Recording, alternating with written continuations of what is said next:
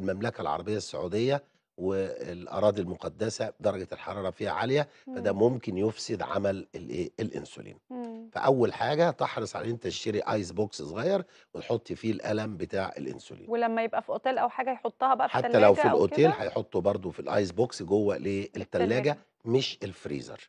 طيب آه، مهمة. الأنسولين اللي أنت بتاخدها هي، هي نفسها تمام، لكن خُد بالك لمّا تاخد جرعة الأنسولين لازم تاكل، ما فيش حاجة اسمها آخد جرعة الأنسولين ويالّا أنزل أعمل ط طواف أو أعمل سعي أو أعمل أي مناسك، لإن ده خطر كبير، لإن بعد 10 أو 15 دقيقة السكر.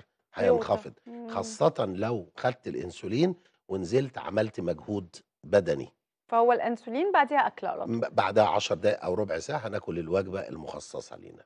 وهناخد جرعات الأنسولين زي ما هي متحددة لنا هنا. نعم. بالنسبة للأقراص ما فيش أي مشاكل فيها، إمم. هناخد الأقراص بتاعتنا زي ما بناخدها هنا. نعم. حبايبنا بقى مرضى السكر يخلّوا بالهم من العدوى، لإن مريض السكر إمم. مريض مناعته ضعيفة بصفة إمم. عامة، إمم. فسهل أوي إنه يلقط عدوى تنفسية. إمم. يعني أكتر عدوات بتيجي لنا من الحُجّاج اللي راجعين بتبقى عدوى التنفس. إمم. ما تنسوش إن الحِج ده أكبر مؤتمر عالمي، طبعًا. يعني ده فيه بشر من كل أنحاء العالم، نعم. فكل بني آدم على وجه الأرض وكل منطقة ليها بكتيريا خاصة بيها وليها إمم. مواصفاتها الوبائية و، وإلى آخره. فأرجوكم احرص على إن أنت تلبس الكمامة أو الماسك.